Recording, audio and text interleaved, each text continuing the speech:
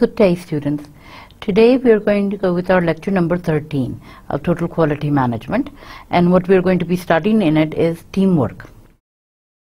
So, when we speak about teamwork, now Total Quality Management organizations discover the benefits of having effective teams at all levels. So, उनको हर level के ऊपर effective teams की ज़रूरत होती है ताकि total quality management का programme properly run हो सके एक ऑर्गेनाइजेशन में now in many sectors of education teams have been developed as the basic unit for curriculum delivery. So, education sector में ऐसी टीम्स बन चुके हैं ठीक है जो करिकुलम uh, डिलीवरी के लिए स्पेशली uh, होते हैं this provides educational institutions with a strong platform from which to build a TQM culture अब ये जो टीम्स हैं they will help us build educational institutions के अंदर टोटल क्वालिटी मैनेजमेंट का uh, एक एनवायरनमेंट एक कल्चर बिल्ड करने के लिए ये टीम्स हमें हेल्प आउट करती हैं। Now the importance of team work in education अगर हम एजुकेशन के पॉइंट ऑफ़ व्यू से देखें तो टीम वर्क एजुकेशन में क्यों इंपॉर्टेंट है? Now however the application of team work has often been limited to curriculum and management functions so so, अगर हम थीम वर्क का जो वो देखें कि सिर्फ़ उनका इफ़ेक्ट जो है वो सिर्फ़ curriculum development like course development and management functions तक ही है Now, to build an effective TQM uh, culture, teamwork needs to be extended and must penetrate and uh, permeate throughout the institution. So, अगर हमने एक environment ऐसा build करना है ठीक है? जिसमें T Q M total quality management का कल्चर जो है इंसेपरेटेड हो उसमें जो है टीम वर्क उसको एक्सटेंड होने की ज़रूरत है। That means it has to be extended and it must penetrate and permeate throughout the institution पूरे इंस्टीट्यूशन में जो है वो स्प्रेड uh, होना चाहिए ये culture now it needs to be use in a wide range of decision making and problem solving situations और um, ऐसे डिसीजंस में ठीक है जो इंस्टीट्यूशन के लिए फ़ायदेमंद हों और कोई भी प्रॉब्लम सॉल्विंग सोल्यूशंस निकालने उसके लिए भी यूज़ होना चाहिए ये Now, it must exist at all levels and across all functions and should include both and support staff. So, um, ये हर लेवल पे एग्जिस्ट करनी चाहिए टोटल क्वालिटी मैनेजमेंट का programme it should be like um, functions throughout the organization पूरे institution या organization में इसका function होना चाहिए academic में भी और support staff के लिए भी only then can uh, that organization be called uh, that it is running under the uh, TQM management program or um, quality improvement system. Now, uh, a well-functioning institution should consist of a large number of overlapping teams. So, एक अच्छा institution जो है build जब ही होता है जब उसके um, number of teams जो हैं वो बहुत ज़्यादा हों and then everyone is divided and their work is divided into them and then they know their duties that according to that that they have to provide quality to a certain level of their uh, expertise now teams should uh, not consist exclusively of academic and support staff so सिर्फ़ academic और support staff पे ही uh, teams नहीं होनी चाहिए but mixed teams of academic and non-academic support staff have an important role to play so team uh, सिर्फ़ जो है academic और सपोर्ट स्टाफ की नहीं बल्कि the other staff also has to be included in it और जो non academic support दे रहे हैं उनको भी इसमें इन्वॉल्व होना बहुत ज़रूरी है। And they also have to play an important role now some teams will have a long life while others take on short term task so कुछ टीम्स ऐसे बनती हैं एजुकेशनल ऑर्गेनाइजेशन के अंदर के जिसमें जो उनका लाइफ लॉन्ग जो है um, टाइम पीरियड होता है काम करने का एंड उनका वो प्रोसेस ऑफ़ इम्प्रूवमेंट चलता रहता है. And some just take on short term task यानी बस uh, कोई प्रोजेक्ट या कोई टास्क होते हैं शॉर्ट टर्म जिसको वो थोड़ा क्वालिटी मैनेजमेंट के मुताबिक रन uh, करते हैं. Now teams have the advantage of involving the maximum number of people in a quality process. So teams के पास advantage क्या है कि they have the maximum number of people in uh, the total quality process. उनके uh, total quality process के अंदर उनके teams के ज़्यादा से ज़्यादा लोग involve होने चाहिए. Now it is useful to think of the uh, total quality management institution as a series of overlapping teams. So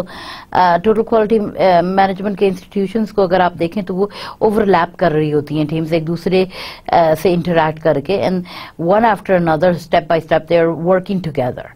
so the synergy required to make quality improvement comes from people working in harmony so उसकी synergy जो है the quality improvement का जो programme है वो properly उस वक्त run होता है, जब सब लोग जो है, इकट्ठे अच्छे तरीके से काम कर रहे हों। And everybody is performing their duties according to what task और whatever duty they have been assigned and doing that with the measures and using the tools of quality so quality improvement होने का सिर्फ़ फ़ायदा और uh, वो है एंड result के the best people working or the best quality that can be maintained is when everybody is working together as a team or, and everybody is happy about their work. Now, quality improvement is hard work, and this is best approached with the support of others. The teams have a number of important functions that include being. Now, um, quality improvement jo hai, it's, it's very difficult. It's not easy to um, improve or maintain a quality improvement environment in an institution or any business or any organization.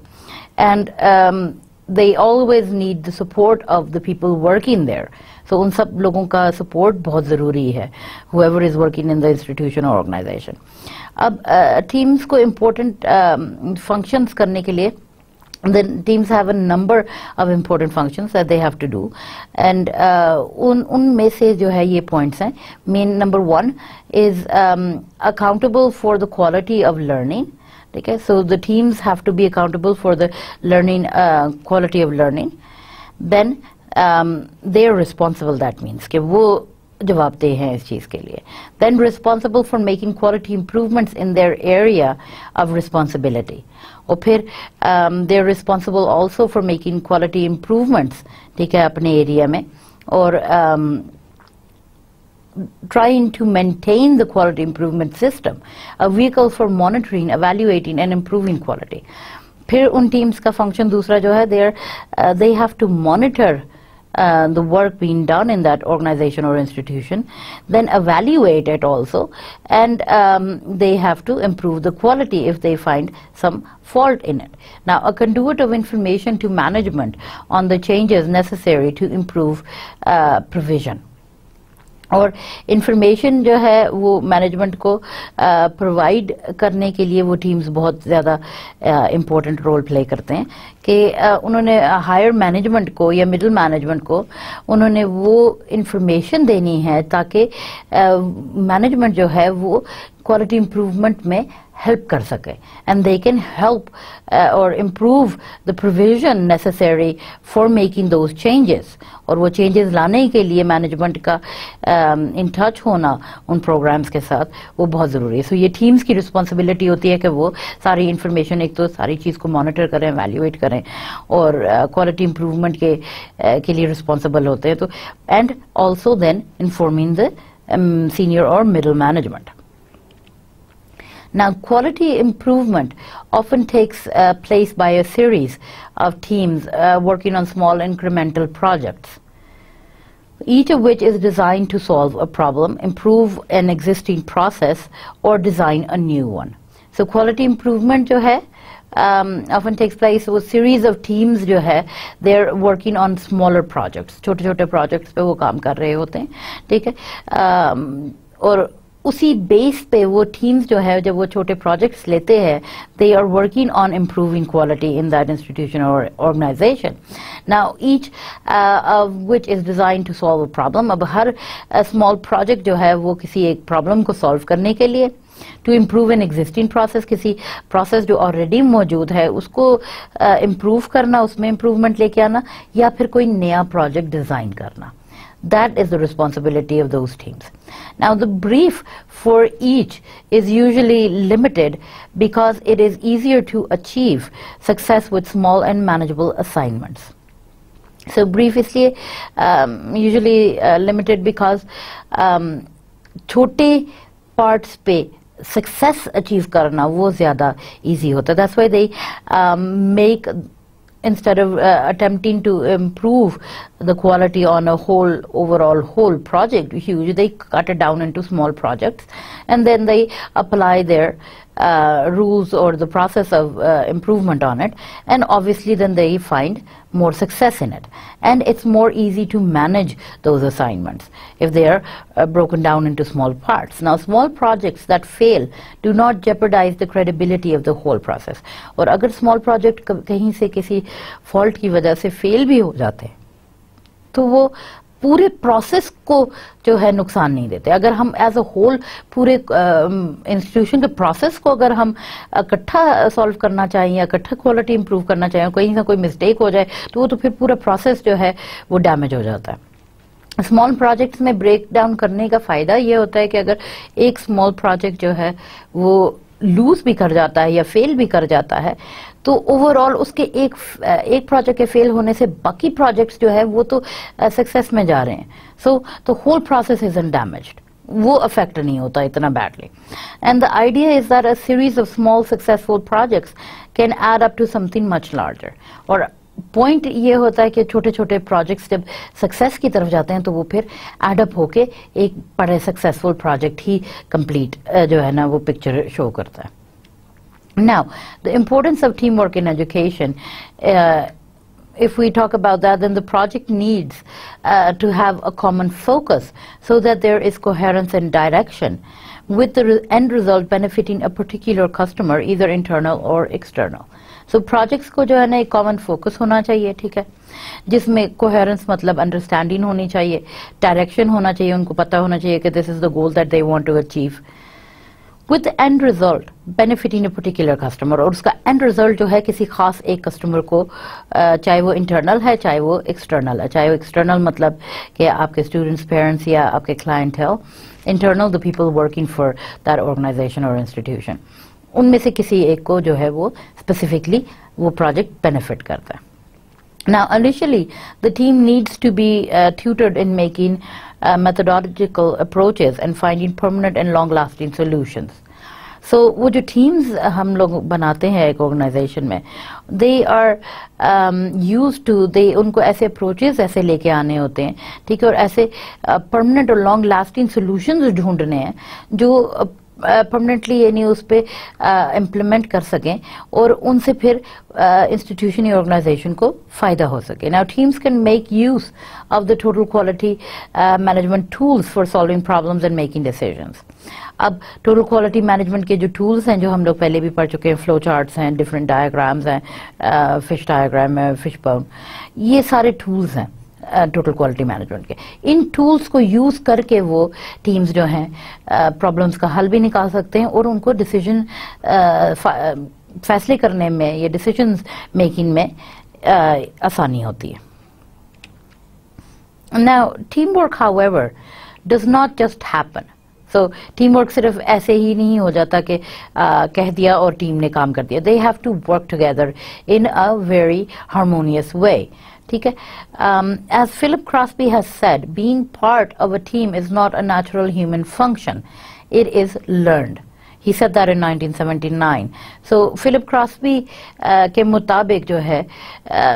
Team uh, में काम करना एक human being की nature uh, से या उसके normal function से जरा हट के because everybody is function to work on their own तो एक टीम में काम करने का तरीका और फिर वो सक्सेसफुली काम करने का तरीका वो सीखना पड़ता है। Now training in team work and problem solving skills is often necessary और इसके लिए जो है वो प्रॉब्लम सॉल्विंग स्किल्स उनको सिखाना या टीम वर्क uh, में काम करने का तरीका जो है ना वो उनको ट्रेन करने की ज़रूरत होती है लोगों को। Now the members of a team have to learn to work together so they need to learn they need to know how to function with each other properly और उनको एक दूसरे के साथ काम करने का तरीका आना चाहिए Now teams are made up of individuals with different personalities, ideas, strengths, weaknesses, levels of enthusiasm and demands for their jobs. So एक टीम जो है वो ज़ाहिर बात है मुख्तलिफ़ लोगों से एक टीम बनती है अब जब वो हर इंसान का उसकी स्ट्रेंथ्स हर इंसान की डिफरेंट होंगी उसके वीकनेसेस डिफरेंट होंगे उसके आइडियाज़ उसकी पर्सनैलिटी उसके सोचने का तरीका ठीक है? आ, उसकी जॉब की तरफ़ इंतुजियाजम ठीक है? और फिर उसके जॉब की डिमांड वो सबकी डिफरेंट होती है। And then managing all of that into one work force ताकि वो सब मिल के काम कर सकें एंड जिसकी वीकनेसेस हैं वहाँ पे दूसरे की स्ट्रेंथ्स यूज़ करें। जहाँ पे जिसकी स्ट्रेंथ्स हैं वहाँ पे वीकनेसेस इग्नोर की जाए आइडियाज़ डिफरेंट जो है ना, सबके मिक्स होने चाहिए। They have to all think at one level एक सोच के साथ उनको चलना पड़ता है। Too often in education as elsewhere, we just expect teamwork to happen. So, um, अगर हम education की example लेते हैं तो एक concept ये है कि हम लोगों का mind ये है कि जी as a team सबको काम करना चाहिए and it, it will just happen like that. But that's not true. They have to learn to work together to make um, their um, projects successful. Now, a group of people work on the same program and we call them a team. So, एक group है लोगों का वो काम कर रहे हैं अगर एक ही प्रोग्राम के ऊपर तो फिर हम उनको टीम का नाम दे देते हैं Now, usually only the team leadership role is identified, and that is often the only uh, structure the team So, team में यूजुअली जो है सिर्फ़ लीडरशिप के रोल को हम लीडर असाइन कर देते हैं कि इस टीम का ये लीडर है and he is going to be leading the project of it and बाकी सब जो है मिल के काम कर रहे होते हैं एंड वो uh, उसका सिर्फ़ स्ट्रक्चर जो है टीम का वो सिर्फ़ वही लीडरशिप ही होती है now teams like people need nurturing mentoring if they are to function well and give the, of their best. So obviously अगर टीम्स में लोगों ने काम करना है तो आ, लोगों को जो है ना मेंटोरिंग चाहिए उसमें उनको they need to grow and they need to nurture और ताकि वो फ़ंक्शन अच्छा कर सके अपनी अच्छी बेस्ट परफॉर्मेंस शो कर सके and they can work properly with other people their contribution has to be recognised and supported so उनकी कंट्रीब्यूशन जो भी वो टीम वर्क में काम कर रहे हैं उनका सपोर्ट भी उनको मिलनी चाहिए मैनेजमेंट से और उनके काम को रिकग्नाइज भी करना चाहिए। Now, teamwork is based on mutual trust and established relationships. So, teamwork सिर्फ़ कामयाब जब होता है जब वो सब मेंबर्स एक दूसरे पे फुल्ली ट्रस्ट करते हैं फैसलों पे ट्रस्ट करते हैं काम पे ट्रस्ट करते हैं एंड एस्टैब्लिश्ड रिलेशनशिप्स ऑलरेडी जो बिल्ट अप होते हैं उनकी बेस के ऊपर टीम वर्क जो है वो कामयाब होता है ना only when a team has an identity and purpose can it operate effectively so so, सिर्फ़ जब एक टीम का जो है आइडेंटिटी और पर्पस है कोई ठीक है जब ही वो प्रॉपरली इफेक्टिवली जो है ना काम कर सकते हैं ऑपरेट कर सकते हैं। Teams do not come ready formed और टीम्स uh, जो है वो पहले से ही ये नहीं ये चीज़ नहीं होती कि they already know their functions how they are going to be working so उनको उनका आइडेंटिटी उनके उनके पर्पस उनको मालूम होना चाहिए टीम में। तब ही जाके वो कामयाबी की तरफ़ लेके जा सकते हैं इंस्टीट्यूशन को। Now they have to go through a formation process that is critical to their ability to function so उनकी एबिलिटी जो है फ़ंक्शन करने की वो जब इंप्रूव हो सकती है जब उनमें एक प्रॉपर फॉर्मेशन प्रोसेस के मुताबिक वो बिल्ड होती हैं teams now teams need to grow time to grow and mature and it is generally recognized that teams uh, go through a growth cycle. So uh, obviously एक team बनती है वो first day say they cannot start performing well. So they need time to grow into that. They need time to mature. And once uh, they're working together in a harmonious and perfect way, अच्छे तरीके से जब वो एक दूसरे के साथ काम करना शुरू हो जाते हैं, so then that team um, is recognized as uh, an accomplished a team that has accomplished something, and फिर उनका वो एक growth cycle में से उनको जो है ना गुजरना पड़ता है now uh, B.W. Tuckman has suggested a four stage growth and maturity cycle of team development अब teams को develop होने के लिए Tuckman ने चार stage का growth uh, और maturity cycle का example दिया now his four stage model उनका four stage का जो model था was number one was forming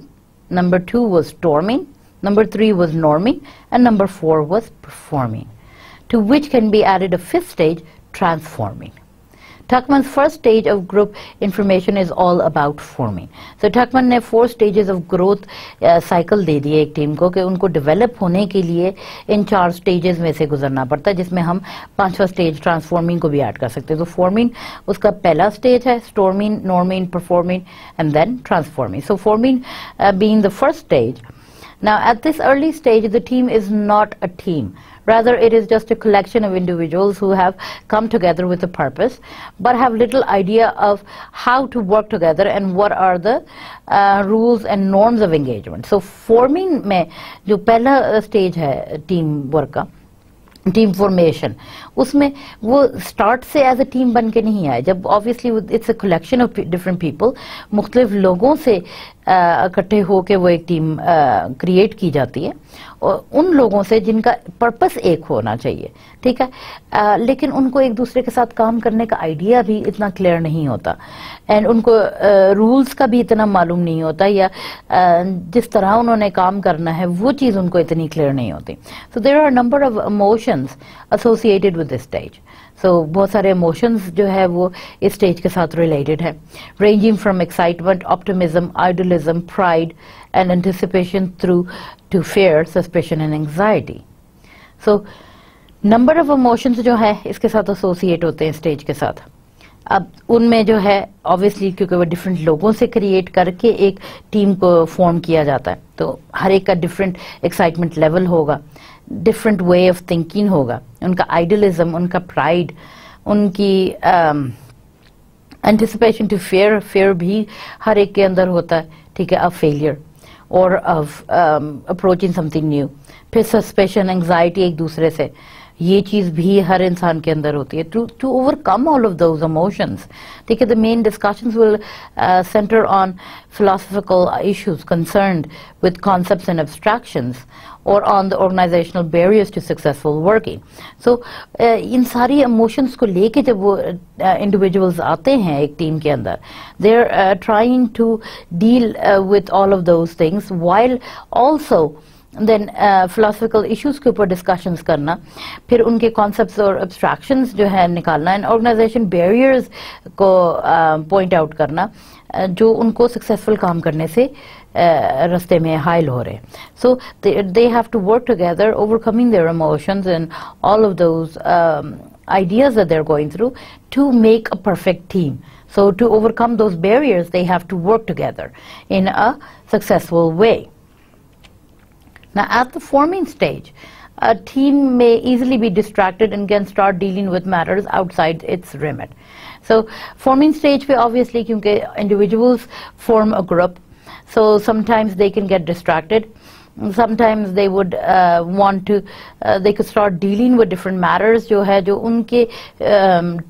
उनको जो असाइन किया गया है या उनकी जो लिमिट्स हैं ड्यूटी की उससे हट के या उसके दायरे से बाहर के काम उनमें वो कंफ्यूज हो जाते हैं instead of just performing what they are suppose to be doing they can may be get confuse and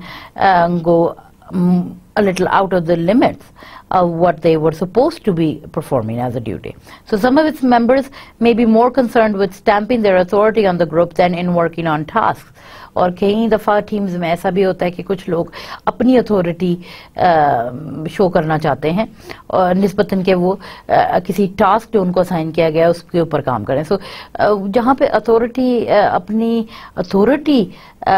show करने की कोशिश करते हैं। सो Um, जब वो लोग ये चीज़ करना शुरू करते हैं तो देन ऑब्वियसली वो जो उनको असाइन टास्क हैं उनको तो वो प्रॉपरली परफॉर्म नहीं कर रहे तो देन काम भी स्लो हो गया। and then that means that teams are not functioning in a proper way. So these patterns of behaviors are often seen as wasteful in time and effort.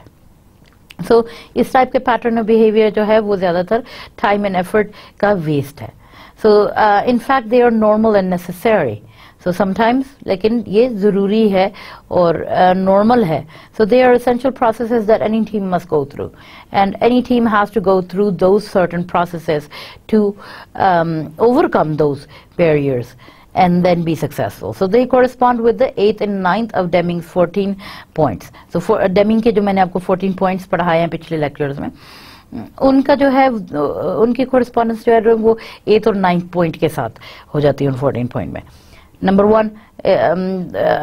was to drive out fear so that everyone may work effectively so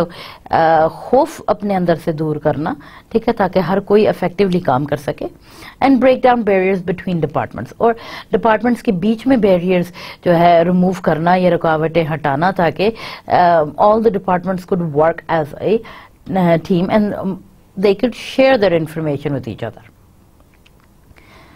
Now, teams uh, will be helped in the formation stages of uh, senior managers, um, share when they share their vision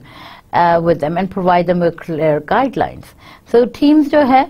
वो अपने formation stage में कहाँ पे उनको helpful होता है जब senior managers जो है वो उनके साथ अपना विजन शेयर करते हैं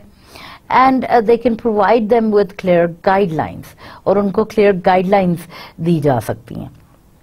now however the manager's agenda must not be uh, too detailed or it will stifle the inherent creativity of the team so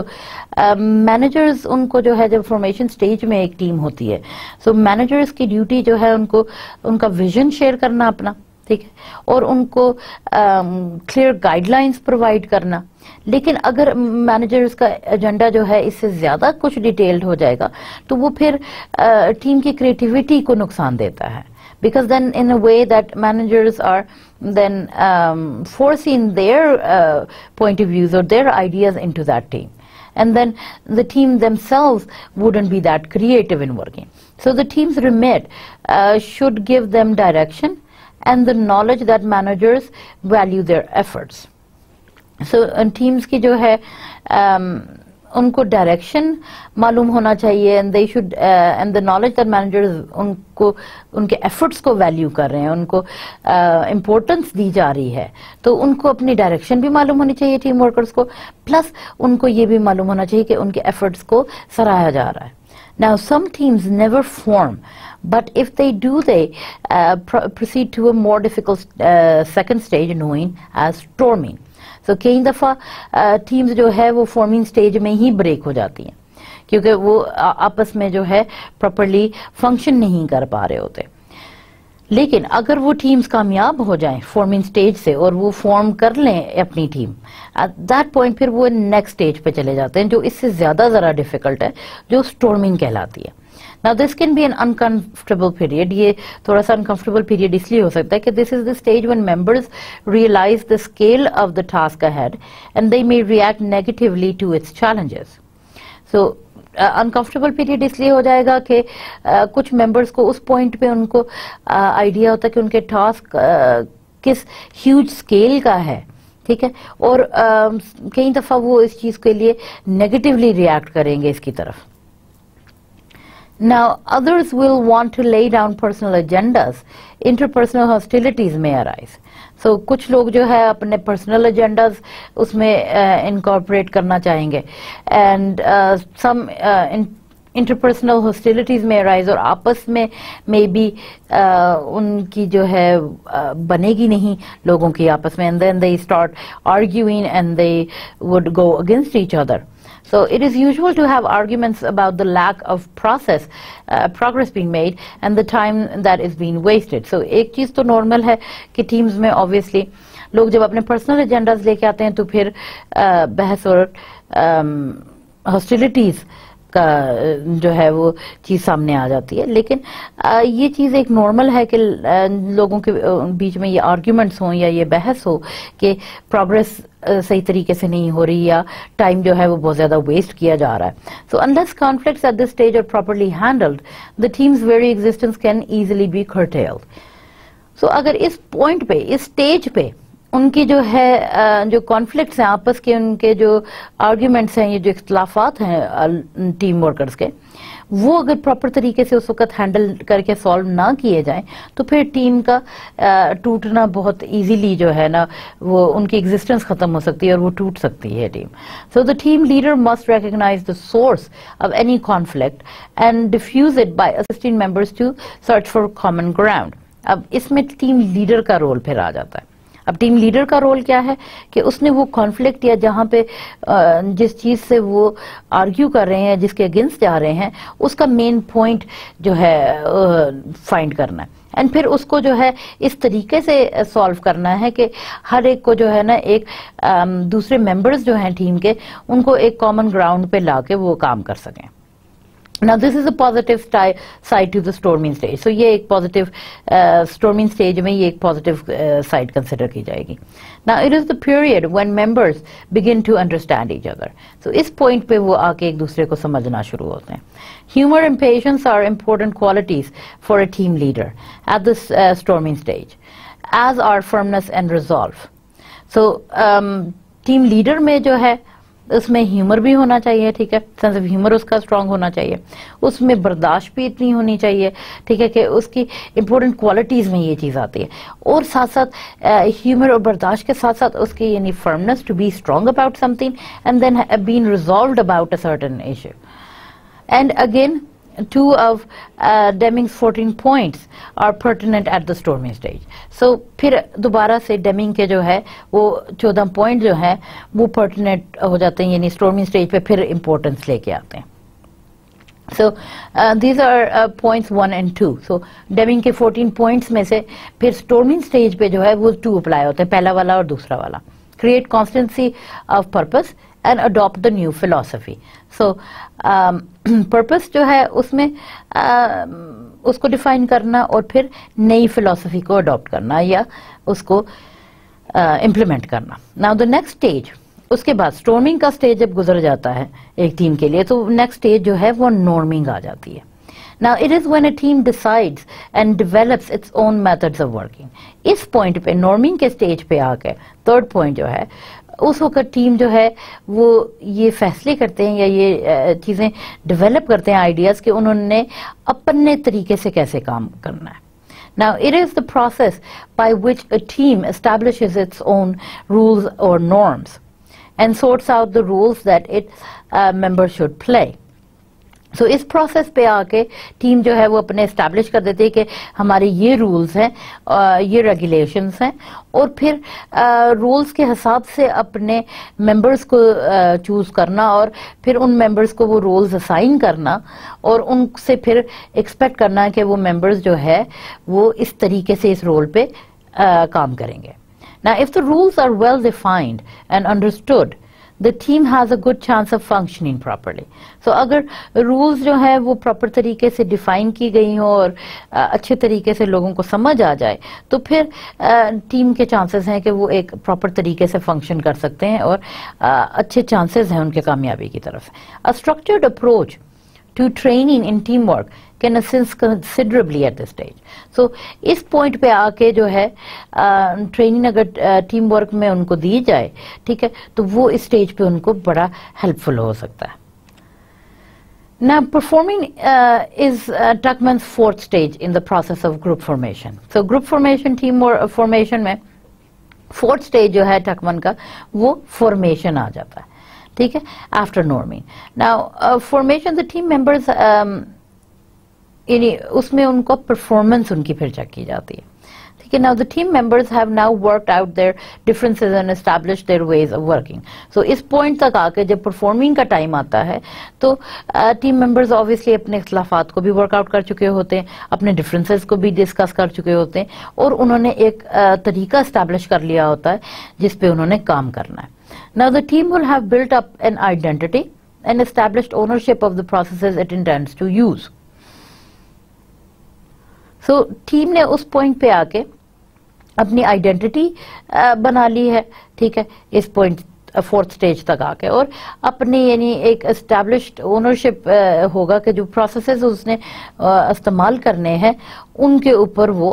sure होते हैं कि हमने अब इस तरीके से काम जो है ना आगे लेके चलना है Now, it can now start the process of solving problems and improving processes. इस point पे आके फिर वो problem solving शुरू करते हैं और फिर processes को या कोई भी system है उसको improve करने की कोशिश करते हैं Now, a fully mature team has been created that can work together and use the uh, synergy of group working that are the real rewards of teamwork. So so, इस point पे आके team mature हो चुकी होती है और उस वक्त पे वो एक दूसरे के साथ प्रॉपरली काम भी कर सकते हैं they can function properly as a group और um, उनको फिर अपने टीम uh, वर्क के असल रिवॉर्ड्स uh, नज़र आना शुरू होते हैं Now, Deming's uh, point 5 and 7 of his 14 points uh, exemplify the forming stage. So, uh, अगर हम डेमिंग के वो 14 पॉइंट्स को स्टडी करें तो उसमें फाइव और सेवन पॉइंट जो था ठीक है वो परफॉर्मिंग स्टेज को ज़्यादा इजीली जो है वो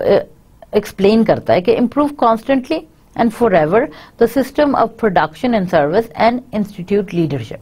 so five and seven point क्या बता रहा है डेमिंग का कि uh, यहाँ पे आके परफॉर्मिंग स्टेज पे कि कॉन्स्टेंटली यानी मुसलसल इम्प्रूवमेंट की ज़रूरत है। एंड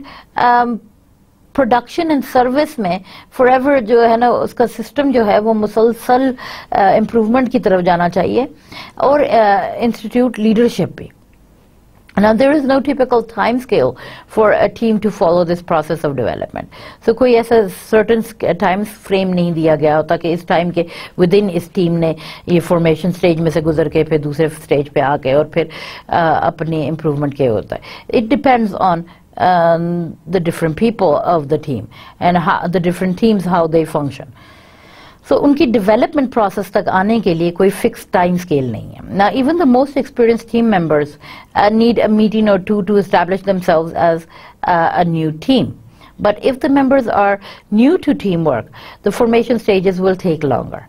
So so, अगर एक्सपीरियंस टीम मेंबर्स हैं जो पहले भी टीम्स में काम कर चुके हैं एंड उनको ऑलरेडी आइडिया है कि किस तरीके से फ़ंक्शन करना है फिर उनको इस्टेब्लिश करने के लिए अपने आप को ईजी होता है लेकिन उनको फिर भी एक दो दफ़ा मिलना पड़ता है ताकि वो अपने डिफरेंसेस रिजॉल्व कर सकें। लेकिन अगर मेंबर्स जो हैं टीम के वो कम्प्लीटली न्यू हैं and they haven't worked in a team before फिर जो फॉर्मेशन स्टेज है वो थोड़ा सा ज़्यादा टाइम लगाता है। Now, it is important uh, to remember that even when the performing stage is reached, all teams still have their ups and downs. So एक चीज फिर भी important है मेन uh, चीज uh, ध्यान में रखने के लिए कि परफॉर्मिंग स्टेज पे आके भी टीम्स जो है उनके ups and downs फिर भी होते हैं Now, well performing teams improve their performance over time and may reach a fifth stage known as transforming. So so, um, अच्छी टीम्स जो काफ़ी अरसे से काम कर रहे होंगे ठीक है और अच्छे तरीके से परफॉर्म कर रहे होंगे वो अपनी परफॉर्मेंस को इम्प्रूव करते रहते हैं टाइम से टाइम एंड um, फिर वो एक मे बी फिफ्थ स्टेज पे आ जाते हैं जिसको हम ट्रांसफॉर्मिंग uh, कहेंगे टकमन के मुताबिक. Now this is the stage when real improvements in quality are made. इस स्टेज पे ट्रांसफॉर्मिंग की स्टेज पे आके क्वालिटी uh, में सही improvements इस स्टेज पे आना शुरू होती हैं. Now, to continue in the transformational mode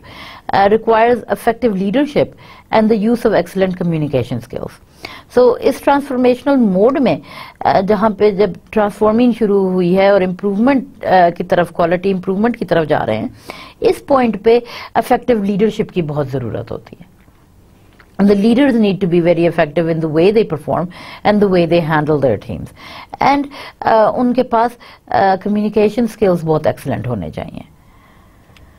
so uh, when we speak about the effective team now, while there is no one recipe for successful teams, the following points should be borne in mind. So, कोई एक खास हम नहीं कह सकते कि एक successful team बनाने के लिए कोई खास एक रेसिपी है बट अगर हम इन पॉइंट्स को माइंड में रखें तो मे बी शायद हम एक सक्सेसफुल टीम बना सकते हैं ना number one a team needs its role to be clearly defined it is important to know who is leading a team and who is facilitating it. So एक team के लिए एक सक्सेसफुल टीम बनने के लिए टीम को अपनी जो है रोल्स टीम मेंबर्स को बड़े अच्छे तरीके से मालूम होने चाहिए कि उनको क्लियरली डिफाइंड हो कि तुम्हारा ये रोल है, ये तुम्हारा ऐसे एक्सपेक्टेशन है, ये काम करना है तुमने and it is important also to know कि इस टीम को लीड कौन कर रहा है और फिर फैसिलिटेशन हमें कहाँ से आ रही है इसकी who is helping us or facilitating us in the process of improvement. So the distinction between the leader and the facilitator is one that is often used in T Q M so total quality management में uh, सबसे ज़्यादा ये distinction जो है ये फ़र्क लेके आना कि लीडर कौन है और फैसिलिटेटर कौन है फैसिलिटेट कौन कर रहा है। ये टी क्यू एम में यूजली जो है uh, इस्तेमाल किया जाता है। ना the leader's role is self evident तो लीडर का रोल तो जो है वो खुद से जो है एविडेंट um, है और नुमाया है कि उसने क्या उसका रोल उसने करना है। ना it is the person who provides the mission and the drive to the team so leader का काम जो है वो uh, अपनी टीम को मिशन प्रोवाइड uh, करना और फिर उस टीम को uh, कामयाबी की तरफ़ लेके जाने की एक इंकरेजमेंट शो करना। The facilitator or quality consultant has a more novel role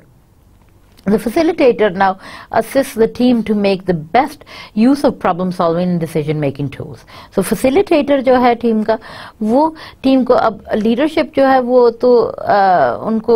उनके मिशन प्रोवाइड कर रहा है and he is driving them towards success but the facilitator now उसने जो है उस टीम को बेस्ट uh, यूज बताना है प्रॉब्लम सॉल्विंग टूल्स को और डिसीजन मेकिंग टूल्स को कैसे इस्तेमाल करना है उन्होंने Now the leader can carry out this role also, but it is difficult for a person to combine both roles successfully in the same way that it is difficult both to chair a meeting and to take the minutes. So so, um, अगर हम example के तौर पे देखें कि एक person um, है उसने मीटिंग को भी हैंडल um, uh, करना लेट्स से कि उसने he has to be the head person who is going to be leading the meeting और फिर उसने मिनट्स भी मीटिंग के लेने हैं। तो ये दो काम उसके लिए डिफ़िकल्ट हो जाएँगे ना। इधर he can lead the meeting or he can a person can take the minute so that's why उस तरह दो एक पर्सन को ये दोनों ड्यूटीज़ होना के लीडरशिप में फैसिलिटेटर भी वो हो वो डिफ़िकल्ट हो जाता है So for that reason, there has to be two different people dealing with this. That the leader has to be different and then the facilitator has to be different. Now, other important roles within the team include research, note-taking and external relations. So एक team में बाकी जो important roles हैं जो लोगों ने play करने हैं वो उसमें research भी आ जाती है and फिर note-taking और external relations build करना. Now teams need clear purposes and goals. So so, teams को uh, उनको पर्पस और उनके गोल्स उनको बहुत क्लियर होने चाहिए a team needs to know where it is going and have clear goals to achieve और उनको अपना वे uh, मालूम होना चाहिए कि इस वे से मैंने uh, ये चीज अचीव करनी है So it is important that the team has a say in its mission and sees it as being workable. So so, ज़्यादा इम्पोर्टेंट क्या चीज़ है इस वक्त? कि एक टीम को जो है अपना मिशन नज़र आना चाहिए and they need to see that it is been workable also now the task is set said must be achievable or the mountain will be seen as uh, too big to climb. So task uh, वो team में ऐसे होने चाहिए जिसको achieve करना आसान हो। जो नज़र आता हो कि हम हाँ इसको अचीव कर सकते हैं, वरना अगर वो ऐसे ही पहाड़ की तरह बन जाता जिसपे we would say to climb is too difficult वो पहाड़ बहुत ऊँचा है, उस पर चढ़ना बहुत मुश्किल हो जाएगा। उसी तरीके से टास्क इतना बड़ा नहीं होना चाहिए कि एक टीम जो है उसको हैंडल ना कर सके। So task has to be achievable इस तरीके से कि उनको मालूम हो कि वो अचीव उसको कर सकते हैं इजीली ना it must also be relevant to the interest of its members. और जो members हैं, उनके इंटरेस्ट से भी relevant होना चाहिए. Now a good way to establish a sense of purpose is to have an initial session that does no more than establish the team's mission. So एक बेहतर तरीका जो है establish करने का उसमें सेंस ऑफ़ पर्पस जो है लेके आने का is to have an initial session एक इनिशियल सेशन हो and that does no more than establish the team's mission जिसमें सिर्फ़ टीम का मिशन जो है वो टीम मेंबर्स को क्लियर कर देना चाहिए so a team needs the basic resources to operate so एक टीम को ऑपरेट करने के लिए बेसिक रिसोर्सेज होना उसके लिए बहुत ज़रूरी है। And the basic resource needs are people time space and energy so एक टीम को प्रॉपर तरीके से फ़ंक्शन करने के लिए या ऑपरेट करने के लिए उसके पास ये बेसिक रिसोर्सेज uh, होनी चाहिए जिसमें पीपल लोग शामिल हो उनके पास टाइम हो उनके पास स्पेस हो और एनर्जी हो। Now the last point on energy is important अब एनर्जी किस पॉइंट ऑफ़ व्यू से अगर हम देखते हैं तो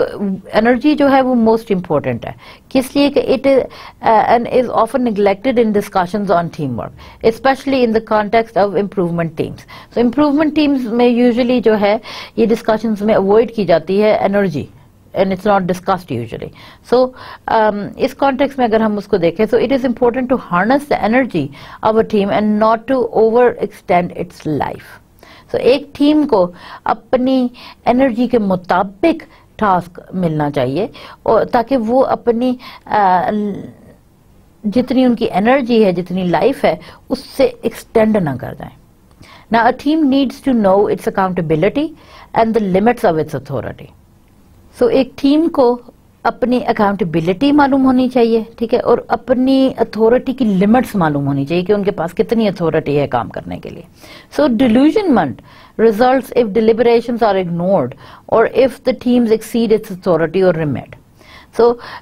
disillusionment results किस सेंस में ऐसे रिजल्ट्स गलत हो जाते हैं या ऐसी चीज़ें कि उनको या तो uh, अकाउंटेबिलिटी लिमिट्स को अपनी इग्नोर किया जाए और कोई टीम जो है अपनी लिमिट या अपनी अथॉरिटी से एक्सीड कर जाए काम करने के लिए, फिर वहाँ पे रिज़ल्ट जो है वो सही नहीं आते। ना a clear brief of the purpose of the team is necessary before a team begins its work so team start करने से पहले या उनका काम शुरू होने से पहले, एक टीम को ये ब्रीफिंग देना बहुत ज़रूरी है कि उनका पर्पस क्या है। उनको क्लियरली ये मालूम होना चाहिए कि उनका पर्पस या उनका मकसद एज अ टीम वो क्या है और क्या उनके गोल्स हैं क्या उनको अचीव करना है ताकि काम से पहले उनको ये चीज़ें क्लियर हों। Now a team needs a plan so team को एक प्लान की ज़रूरत होती है। A plan will contain the terms of reference the mission, perhaps a flow chart on the steps required to tackle a project, and the resources at the team's disposal. So so, एक team को plan की बहुत ज़रूरत होती है काम करने के लिए। अब उस प्लान में क्या क्या चीज़ें आनी चाहिए? पहली चीज़ के उनको मिशन उनका मालूम होना चाहिए कि उनका गोल या उनका मिशन क्या है इस टीम का अचीव करने का। उनको वो चीज़ें स्टेप्स के थ्रू बताए जा सकते हैं कि एक प्रोजेक्ट को उन्होंने किस तरीके से हैंडल करना है या टैकल करना है। और वो मे um, बी वो स्टेप्स फ्लो चार्ट के ज़रिए उनको बताया जा सकता है एक्सप्लेन किया जा सकता है। और फिर एक टीम को कहाँ से और कितनी रिसोर्सेज अवेलेबल हैं to help them complete that project ये चीज़ें क्लियर होनी चाहिए। So a team then needs a set of rules उसके बाद प्लान के बाद उनको सेट ऑफ़ रूल्स की भी बहुत ज़रूरत होती है। Now these should be simple and agreed by all members so simple rules होने चाहिए और सारे मेंबर्स उस पर एग्री होने चाहिए। Now they are an integral part of norming stage और ये नॉर्मिंग uh, स्टेज के सेंटर में यानी आती है और ये नॉर्मिंग स्टेज का एक हिस्सा है important so their importance is to set high standards of behaviour and to keep the team on course और उनकी इम्पोर्टेंस जो है वो हाई स्टैंडर्ड्स ऑफ़ बिहेवियर उन्होंने क्रिएट करने होते हैं, ठीक है? और टीम को अपने रास्ते पे सही ट्रैक पे चलता रहे ताकि टीम और they can go towards achieving their mission और their goal So a team needs to use the appropriate tools to tackle problems and to arrive at solutions. So एक टीम को appropriate tools की जरूरत होती है अपने problems को handle करने के लिए tackle करने के लिए और uh, proper solutions पे पहुंचने के लिए. So the techniques such as brainstorming Flow charting and force field, force field analysis are easy to adopt and can be very powerful problem solving and decision making tools.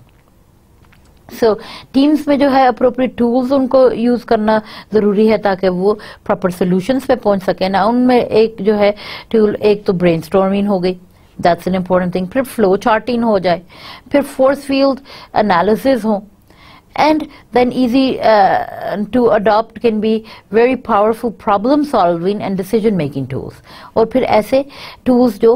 uh, बहुत powerful हों जो problem solving के लिए और decisions करने के लिए। Now, a team needs to develop beneficial team behavior. So, Peter R. Um, Scholes uh, and his collaborators have argued that the keys uh, to good teamwork are beneficial team behaviors.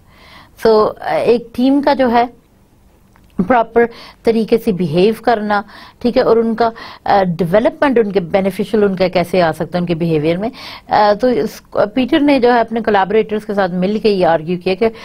keys to good team work are beneficial team behaviours so these are things that uh, all all members should be able to do और ये हर team member के लिए बहुत ज़रूरी है कि they have to know how to benefit their team with their behaviours so they include the ability to अब इनमें उनकी एबिलिटीज क्या क्या होनी चाहिए टीम मेंबर्स की? टू इनिशिएट डिस्कशंस डिस्कशंस को स्टार्ट करना to seek information and opinions information और ओपिनियंस को फिर जज uh, करना। Suggest procedures for reaching goals फिर uh, ऐसे प्रोसीजर्स uh, को सजेस्ट uh, करना कि जो गोल्स तक ताकि वो uh, पहुँच सकें अपने अचीव कर सकें easily देन क्लेरिफाई और एलैबोरेट ऑन आइडियाज फिर आइडियाज um, को क्लेरिफाई करना और उनको ज़्यादा एम्फोसाइज करना और एक्सप्लेन uh, करना then to summarize their whole content test for consensus and act as gatekeepers So direct conversational traffic avoids simultaneous conversations, throttle dominant talkers, make room for reserved talkers, keep conversation from digressing. So ना सिर्फ़ आपस में discuss करना या अपने goals तक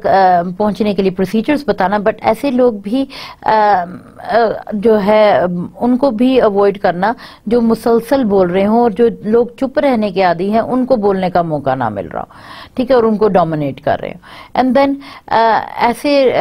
conversation को ताकि वो डिग्रेशन की तरफ़ ना जाए बट सबके लिए इंटरेस्टिंग रहे। So then to compromise and be creative in uh, resolving differences, फिर ऐसा compromise करना और ऐसे creative होना ठीक है जिसमें जो है ना um, कोई डिफरेंसेस हैं या ओपिनियंस के डिफरेंस है या वर्क उसमें उनको रिजॉल्व करना try to uh, ease tensions in the group and work through difficult matters और difficult situations में काम करना और um, tensions को relax करना express the group's feelings and uh, ask others to check that impression फिर groups की feelings को judge करना और दूसरों से पूछना कि उनका impression check करें and get the group to agree on standards और standards पे agree करवाना सबको then refer to documentation and data data and documentation की तरफ refer करना praise and correct others with equal fairness uh, accept both praise and uh, complaints और फिर praise भी करना एक दूसरे को इस फेयर तरीके से कि उसमें उनको सराहा भी जाए और उनकी कंप्लेन भी सुनी जाए बहुत in an equal way so good communication are essential within the team to nurture these beneficial behaviours तो एक आ, अच्छी कम्युनिकेशन बहुत इंपॉर्टेंट है एक टीम में आ, ये नर्चर करने के लिए कि उनके लिए बेनिफिशियल बिहेवियर्स में उनको लेके आने के लिए बहुत communication plays a very important role so honesty and integrity are integral elements also honesty भी होना बहुत ज़रूरी है। and uh, as are the willingness of members to share their feelings openly and not to indulge in hidden agendas और फिर अपनी uh, सारे members team members जो है वो अपनी feelings uh, openly एक दूसरे के साथ share कर सकें और uh, अपने hidden agendas ना हो उनके कोई everything should be on the table everything every team member should be uh, uh, included in the thoughts and they should uh, know about each other's way of working So the team leader plays a crucial uh, role here. So इस point पे आके team leader जो है वो बहुत crucial role play कर रहा है important role है कि it is the team leader's role to prevent the team from becoming bogged down going round in circles and from being dominated by one or two individuals. So team leader का उस जगह पे काम आता है कि उसने जो है ना टीम को इस तरीके से लेके चलना है कि एक या दो मेंबर सिर्फ़ उस पर डोमिनेंट ना हो जाए हावी ना हो जाए पूरी टीम पे और they shouldn't go around in circles उनको कोई प्रॉपर वे uh, मालूम होना चाहिए towards success and they should be working towards that to accomplish their project in a proper way Now, for many people, quality improvement is synonymous uh, with quality circles. So,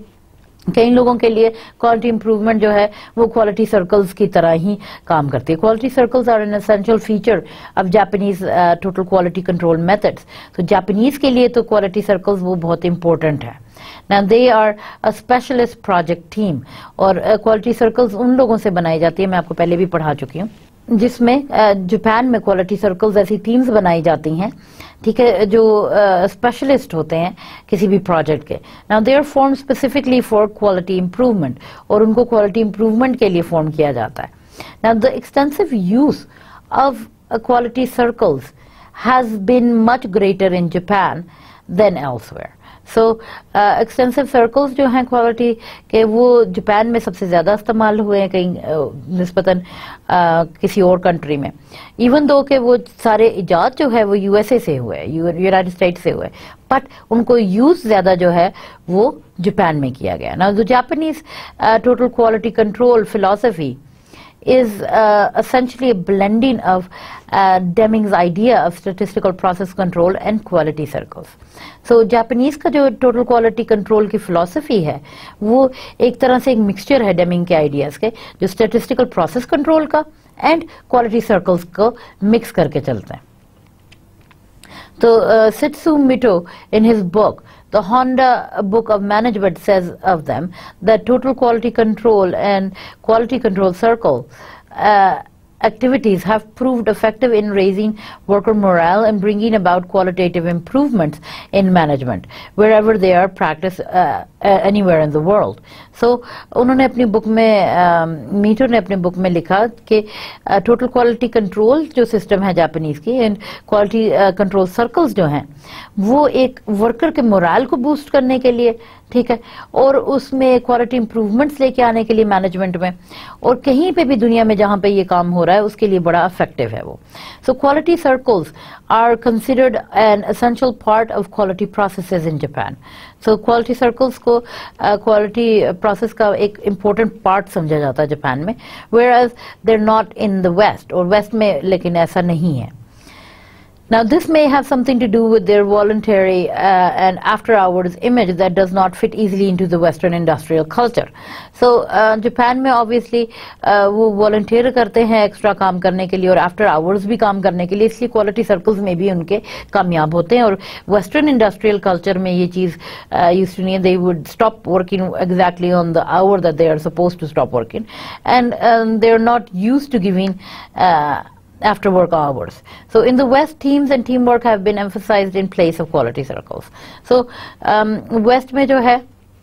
Japan के नस्बत quality circles की बजाय जो है वो teams या team work को ज़्यादा एम्फोसाइज किया गया या ज़्यादा जोर दिया गया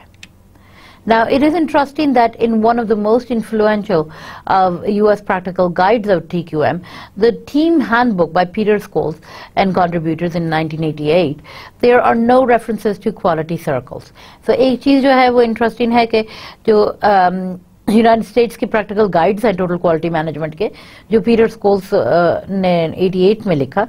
उन उसमें क्वालिटी सर्कल्स का कहीं पे कोई रेफरेंस नहीं है कोई ज़िक्र नहीं है। So by contrast Kaoru Ishikawa who was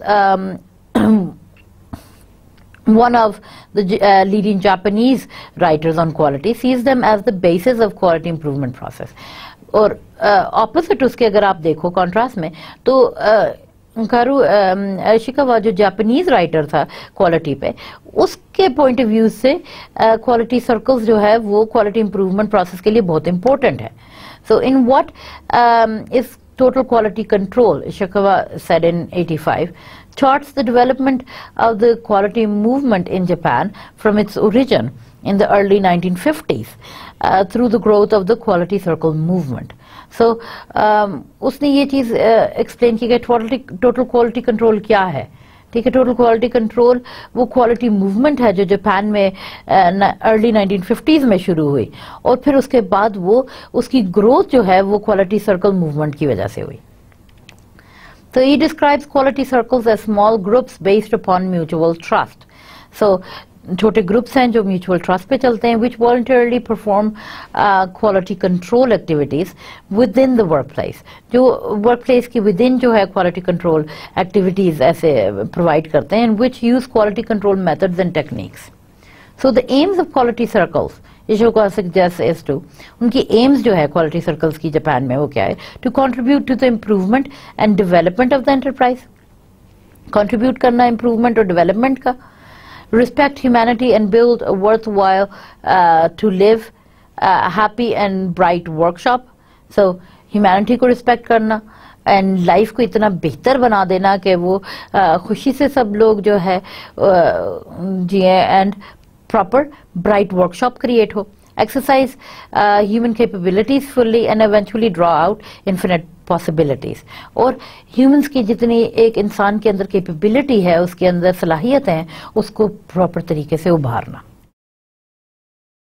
so quality circles में the only major difference between quality improvement teams and quality circles is volunteerism so so, इन दोनों में सिर्फ़ फ़र्क क्या है टीम वर्क में या इम्प्रूवमेंट टीम्स में और क्वालिटी सर्कल्स में कि क्वालिटी सर्कल्स जो हैं वो वॉल्टियरी होते हैं वो लोग वॉल्टियरली काम करते हैं they are not usually maybe paid for that certain task but quality teams then they are assigned to that Uh, certain project. It is a principle that Ashoka believes to be fundamental importance. So Ashoka के मुताबिक quality circles में volunteerism वो सबसे important role play करता है and he does not believe that quality circles should come under the command of a superior और quality circles उसके point of view से किसी superior के command के नीचे नहीं आना चाहिए they need to have the power to work on their own The volunteerism principle prevents some circle members from becoming too dependent upon others. So volunteer जो लोग कर रहे होते हैं इस प्रिंसिपल से क्या फ़र्क पड़ता है कि कोई members जो है वो एक दूसरे के ऊपर डिपेंड नहीं करते इतना strictly formally designated groups such as work teams cannot be quality circles. So uh, designated groups अगर हम उन्हें बता देते हैं कि कोई टीम uh, में कि तुम्हारी ये ये ड्यूटीज़ हैं यही ये काम है इसी तरीके से तुमने वो क्वालिटी सर्कल्स नहीं बन सकते because they're not volunteering for that work. So whether there is a real difference between quality circles and teams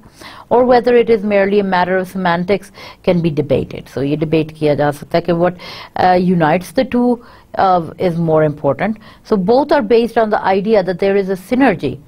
to be gained by working together in a structured, self-directed way to improve the service being provided. So service को improve करने के लिए they have to work together in a structured way So Tim uh, Atkinson in 1990, writing about experiments with quality circles in further education colleges in the UK, and also comes to much of the same conclusions. So uske bhi same conclusions So he argues that where quality circles have been experimented with, they have proved a beneficial means of staff development uh, particularly for support staff whose training has often been neglected also. So his conclusions are that quality circles work best among natural work groups and need to be supported with resources such as consultant time, facilitator time and uh, places to meet. So उसके conclusion क्या है quality circle जो है वो natural work groups में से create होता है और उसको support करने के लिए consultant time चाहिए uh, जगह चाहिए मिलने के लिए and facilitator time चाहिए. He concludes his study with the words that quality circles are not a panacea, uh, panacea but uh, they can have dramatic results in uh, terms of staff involvement morale and identification with the aims of the organization. So quality circle एक major role play करते हैं उनका result जो है वो staff involvement से आता है उनकी morale boost करने पे आता है और उनकी identification उनको aims अपने मालूम होते हैं organization के and there are no disadvantages to introducing a quality circle program only varied levels of success और quality circle program को introduce करने के कोई नुकसानात नहीं है सिर्फ़ different levels of success he achieve कर सकते हैं So that's it for today's uh, lecture. To, uh, students, we will continue in our next lecture. Thank you so much. Good day.